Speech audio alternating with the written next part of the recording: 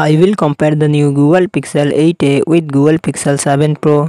Google Pixel 8a comes with 6.1 inches OLED display and success ratio 20 to 9. Google Pixel 7 Pro comes with 6.7 inches LTP AMOLED display and success ratio 19 to 5 to 9. Google Pixel 8a run on the Android 14 operating system. Google Pixel 7 Pro run on the Android 13 operating system. Google Pixel 8a it comes with 8GB RAM and 128GB to 56GB internal storage. Google Tensor G3 processor and GPU Mali G715S. Google Pixel 7 Pro it comes with 8GB RAM and 128GB to 56GB 512GB internal storage or 12GB of RAM. Google Tensor G2 processor and GPU Mali G710. Google Pixel 8 real set dual camera setup 64 megapixel plus 13 megapixel front camera 13 megapixel.